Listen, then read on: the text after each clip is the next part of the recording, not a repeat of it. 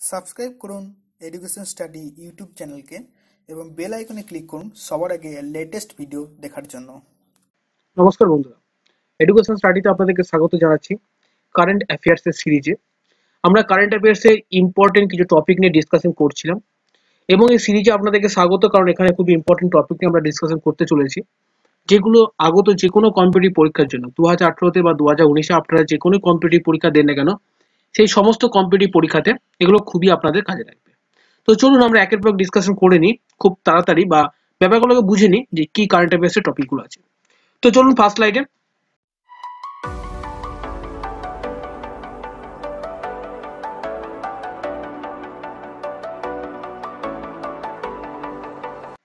প্রথম স্লাইডে যে টপিক আমাদের আছে, সেটা হচ্ছে ব্রাহ্মস মিসাইল সম্পর্কে।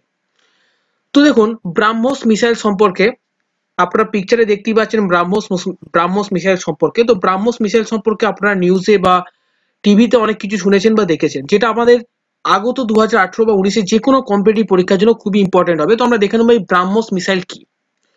তো দেখুন, ব্রাহ্মস মিসাইলের যে চারটি মেন ক্যারেক্টারিস্টিক্স সেটা আমরা দেখে নিচ্ছি। সেটা হচ্ছে এরা হচ্ছে সুপারসনিক মিসাইল তো আপনি জিজ্ঞাসা করবেন সুপারসনিক মিসাইল কাকে বলে?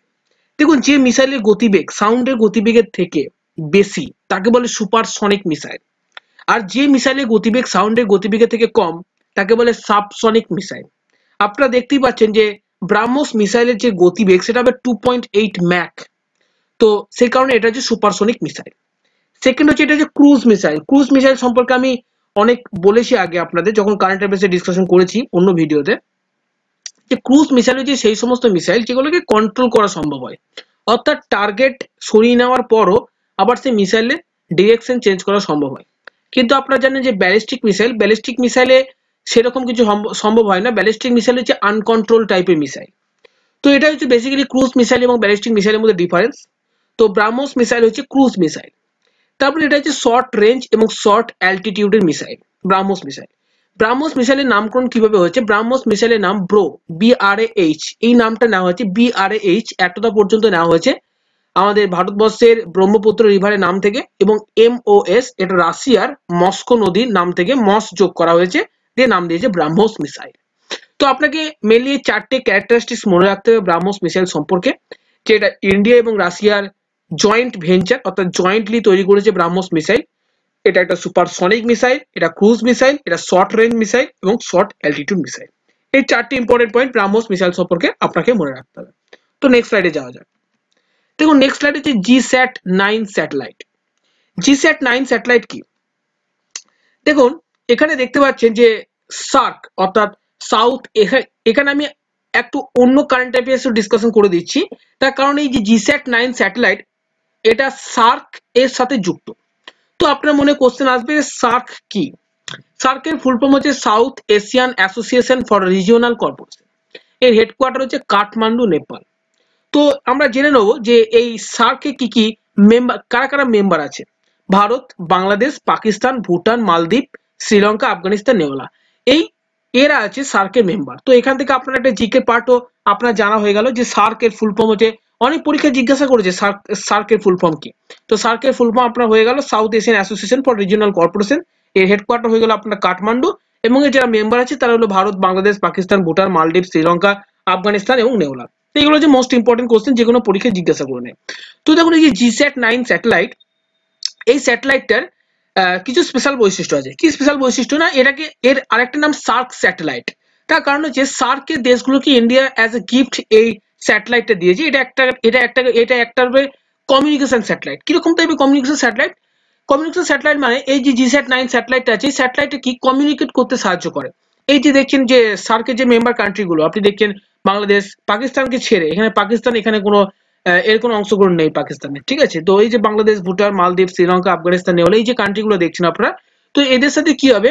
এরা একের সাথে কমিউনিকেট করতে পারবে এই কমিউনিকেশন স্যাটেলাইটের থ্রু দিয়ে। তো এই যে জি স্যাট নাইন এই স্যাটেলাইট সম্পর্কে আপনাকে যেটা মনে রাখতে হবে, সেটা হচ্ছে এর একটা নাম সার্ক স্যাটেলাইট বা এটা কমিউনিকেশন স্যাটেলাইটও বলা হয় মেড বাই ইন্ডিয়া আর তাছাড়া বড় কথা, এখানে যেখানে মনে রাখতে হবে আপনাকে, যে লঞ্চ ভেহিকেলের নাম কি? দেখুন লঞ্চ ভেহিকেল কি জিনিস? আমি যখন স্যাটেলাইট এর আগে সায়েন্স অ্যান্ড টেকের লেকচার আমি বলেছিলাম কারেন্ট অ্যাফেয়ার্সে এর আগের একটা দুটো ভিডিওতে যে লঞ্চ ভেহিকেল কি তো আরেকবার বলে দিচ্ছি লঞ্চ ভেহিকেল হচ্ছে সেই ধরনের ভেহিকেল যেটার উপরে চাপে স্যাটেলাইটকে লঞ্চ করানো হয়। তো লঞ্চ ভেহিকেল যে কোনো স্যাটেলাইটকে লঞ্চ করার জন্য মোস্ট ইম্পর্টেন্ট তো এখানে যে লঞ্চ ভেহিকেল ইউজ করা হচ্ছে, সেটা হচ্ছে জিএসএলভি মার্ক টু ঠিক আছে? GSLV Mark two geosynchronous launch vehicle Mark two তো আপনাদের মনে অনেক সময় জিজ্ঞাসা জিজ্ঞাসা হয়তো আপনাদের মনে আসবে যে যারা আপনার স্যাটেলাইট সংক্রান্ত কিছুটা জানেন বা কারেন্ট অ্যাফেয়ার্স ডিসকাশন করেন, তাদের মনে এই কোশ্চেন আসতে পারে, যেখানে জিএসএলভি মার্ক টু কেন ইউজ করা হচ্ছে পিএসএলভি কেন ইউজ করা হচ্ছে না? পিএসএলভি যে পোলার স্যাটেলাইট লঞ্চ ভেহিকেল তো পিএসএলভি কেন ইউজ করা হচ্ছে না? পিএসএলভি ইউজ করা হচ্ছে না, তার পিছনে কারণ হচ্ছে পিএসএলভি যে স্যাটেলাইট সেই স্যাটেলাইট একটা নির্দিষ্ট অ্যামাউন্টের ওয়েট পর্যন্ত স্যাটেলাইটকে ক্যারি করতে পারে।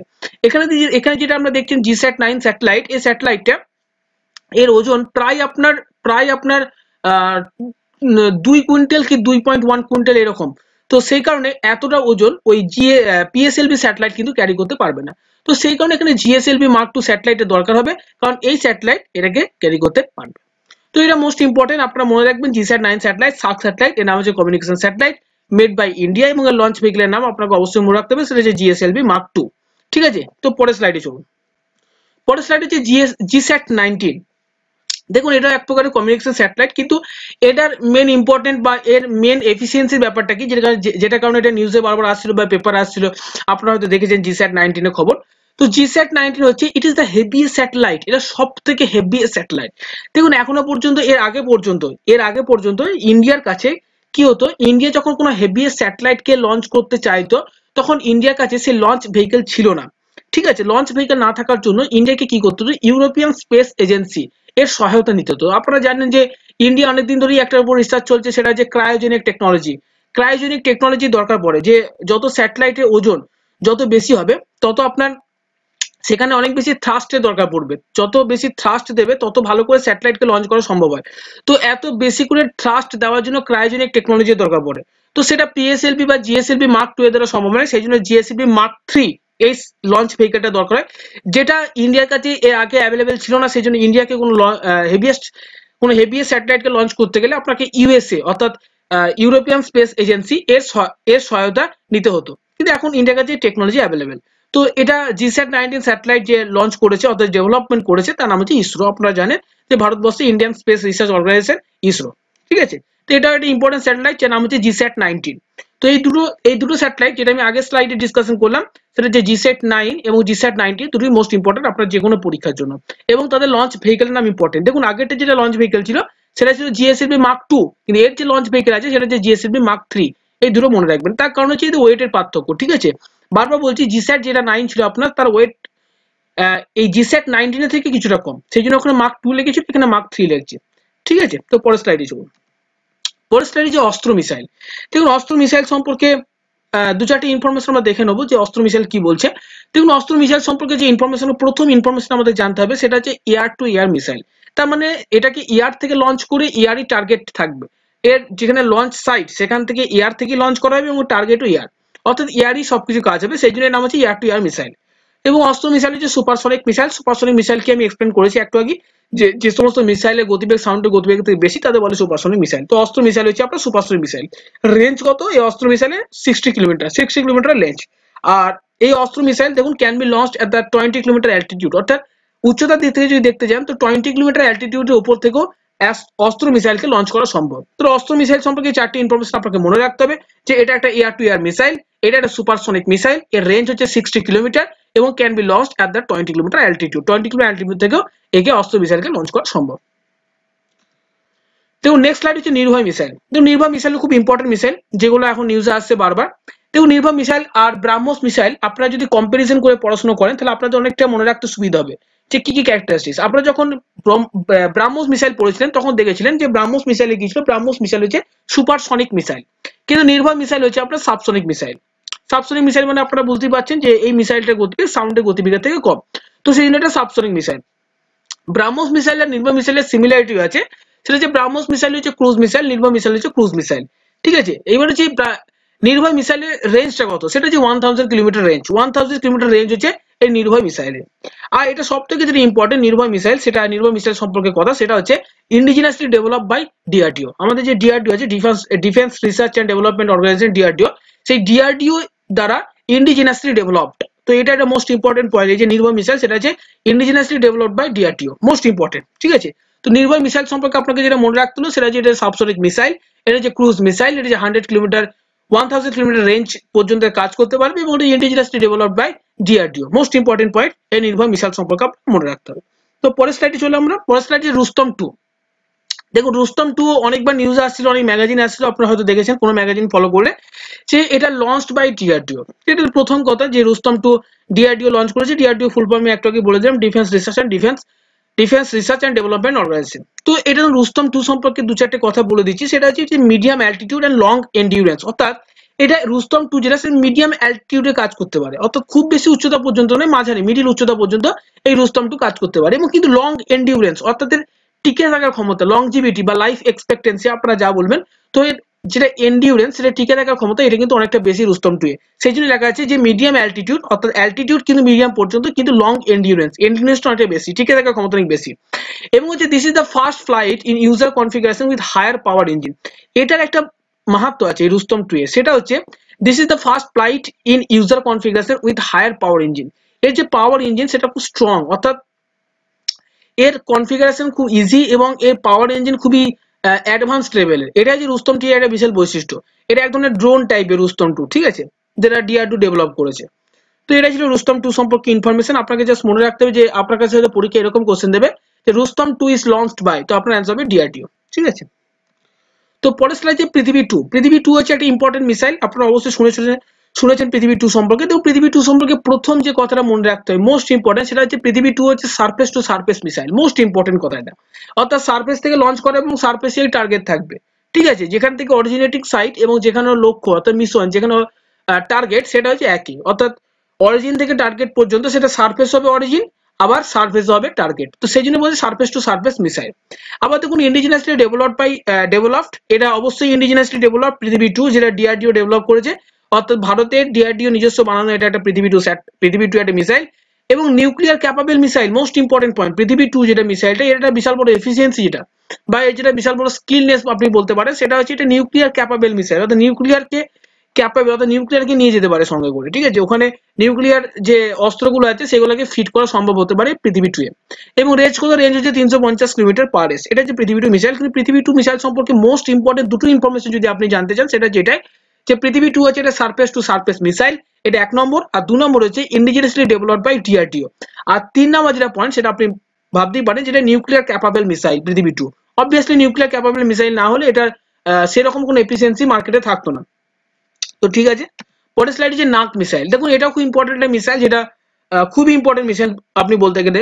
তো নাক মিসাইল দেখুন, এটা third generation anti tank guided missile which works on fire and fire and forget principle তো আপনি, আপনার মনে কোশ্চেন হতে পারে যে অ্যান্টি ট্যাঙ্ক গাইডেড মিসাইল ব্যাপারটা কি? দেখুন, এই যে নাক মিসাইলটা না, নাক মিসাইল অ্যাকচুয়ালি আর্মিদের কাজে লাগে আর্মিতে খুব কাজে লাগবে নাক মিসাইল অর্থাৎ এটা আপনার অ্যান্টি ট্যাঙ্ক গাইডেড মিসাইল অর্থাৎ যখন যখন যুদ্ধক্ষেত্রে ট্যাঙ্ক অনেক জায়গায় ওয়ার ফিল্ডে বিছিয়ে দেওয়া হয়, তো সে ট্যাঙ্ককে অনেক দূর থেকে আপনার ডিস্ট্রয় করে দেওয়ার জন্য অত নষ্ট করে নষ্ট করে দেওয়ার জন্য এই নাক মিসাইলের দরকার পড়ে। সেই যদি নাক মিসাইলকে বলা হচ্ছে যে এটা থার্ড জেনারেশনের অ্যান্টি ট্যাঙ্ক গাইডেড মিসাইল ঠিক আছে? এবং এটা কোন প্রিন্সিপাল উপর কাজ করে এটা মোস্ট ইম্পর্টেন্ট এটা আপনার ফায়ার অ্যান্ড ফরগেট প্রিন্সিপাল উপর কাজ করে, যেটা অনেকটা ব্যালিস্টিক টাইপের আপনারা বলতে পারেন। অর্থাৎ ফায়ার করুন এবং ফরগেট করুন। অর্থাৎ আপনি কোনো ট্যাঙ্কে টার্গেট করে এই মিসাইলটা যখনই আপনি ছেড়ে দেবেন তখন এই মিসাইলটাকে ওই জায়গাটায় টার্গেটটাকে অ্যাটাক করে জিনিসটাকে নষ্ট করে দেবে। সেই জন্য এটাকে নাগ মিসাইলকে বলছে fire and forget type of principle তারপরে বলছে it has operational range of five five five hundred metre to four kilometre in land version and seven to ten kilometre in air version তখন আপনার একটা জিনিস সেখান থেকে বুঝতে পারছেন যে নাগ যে মিসাইল, সেটা আপনার ল্যান্ড ভার্সন এবং এয়ার ভার্সন দুটো ভার্সনে অ্যাভেলেবেল এটাই মোস্ট ইম্পর্টেন্ট জিনিস। ঠিক আছে? তো এই দেখছে ল্যান্ড ভার্সনের জন্য যে কিলোমিটার রেঞ্জটা সেটা কম, সেটা যে পাঁচশো মিটার থেকে চার কিলোমিটার কিন্তু এয়ার ভার্সনের যে আপনার রেঞ্জটা সেটা হচ্ছে সেভেন টু টেন কিলোমিটার এটা হচ্ছে এয়ার ভার্সনের রেঞ্জ এটা হচ্ছে নাগ মিসাইলের এফিসিয়েন্সি বা প্রিন্সিপাল সম্পর্কে বলতে পারেন আপনারা। তো পরের স্লাইডে চলুন। পরের স্লাইড যে স্পেস এক্স আপনারা স্পেস এক্স কোম্পানির নাম অবশ্যই শুনেছেন। স্পেস এক্স একটা প্রাইভেট স্পেস এজেন্সি কোম্পানি তো সেই স্পেস এক্স কি করেছিল? লঞ্চ করেছিল পাঁচ মিশন পিএসজেড পাঁচ mission with two satellite Tintin A এবং টিনটিন বি দু প্রকারের স্যাটেলাইট ছিল পাঁচ মিশনের আন্ডারে সেটা হচ্ছে টিনটিন এ এবং টিনটিন বি নামে স্যাটেলাইট তো এই স্যাটেলাইটটা কি করতো? Starlink is constellation of satellite that would provide a cheap high speed global internet connection তো অ্যাকচুয়ালি এই স্যাটেলাইটটার মধ্যে যে স্টার লিঙ্কটা ছিল, সেই স্টার লিঙ্কটা কি? স্টার লিঙ্ক হচ্ছে constellation of satellites that would provide a cheap high speed global internet connection তো গ্লোবাল ইন্টারনেট কানেকশনকে কীভাবে ইজিলি প্রোভাইড করা যায় এবং কীভাবে এর কস্ট কমানো যায়, তার জন্য এই স্পেস এক্স মিশন থেকে পাঁচ মিশনকে পাঠানো, সেটা দুটো স্যাটেলাইট ইউজ করে পাঠিয়েছে টিনটিন এম ও টিনটিন বি এবং তাদের উদ্দেশ্য যে স্টার লিঙ্কে ফাইন করা, যে স্টার লিঙ্কের সহায়তাতে কীভাবে আমরা ইন্টারনেট কানেকশনকে আরও স্ট্রং বানাতে পারি, খুব খুব ইজিলি প্রোভাইড করতে পারি। তো এটা হচ্ছে স্পেস এক্সের মেন কারণ, আপনারা বলতে পারেন যে অ্যাকচুয়ালি ইন্টারনেট যে প্রোভাইড সেটা কীভাবে ইজিলি করা সম্ভব, সেটা স্পেস এক্স খুঁটি দেখার জন্য পাঁচ মিশনকে লঞ্চ করেছে এবং দুটো স্যাটেলাইটের সহায়তায় একটা যে টিনটিন এ এবং টিনটিন বি ঠিক আছে? তো বন্ধুরা, এতটাই আজকে কারেন্ট অ্যাফেয়ার্সের টপিক ছিল, যেগুলো খুবই ইম্পর্টেন্ট টপিক যেগুলো ডিসকাশন করল আমি খুব তাড়াতাড়ির মধ্যে ডিসকাশন করলাম এই কারণেই, কারণ তাড়াতাড়ির মধ্যে যদি ডিসকাশন না করি, তাহলে লেকচারটা অনেকটা বড় হয়ে যাবে, ঠিক আছে? সেই ক্ষেত্রে আপনাদের হয়তো অতটা ধৈর্য থাকবে না শুনতে, সেই কারণে তাড়াতাড়ি তাড়াতাড়ি ডিসকাশন করলাম যাতে করে লেকচারটা ছোট হয়ে যায়। যদি যদি আপনারা কোনো জায়গায় বুঝতে না পারেন, কোনো জায়গায় প্রবলেম থাকে আপনাদের কমেন্টের থ্রু দিয়ে আমাকে জানাবেন, আমি চেষ্টা করব আপনাদের প্রবলেম সলভ করা যদি ভালো লাগে তাহলে লাইক কমেন্ট শেয়ার সাবস্ক্রাইব অবশ্যই করবেন। তার কারণ হচ্ছে এই যে ভিডিওগুলো আসছে, এগুলো যে কোনো কম্পিটিভ পরীক্ষার জন্য খুবই ইম্পর্টেন্ট আপনাদের। তো আশা করি যদি ভালো লাগে, তো লাইক কমেন্ট শেয়ার অবশ্যই করবেন। থ্যাংক ইউ বন্ধুরা।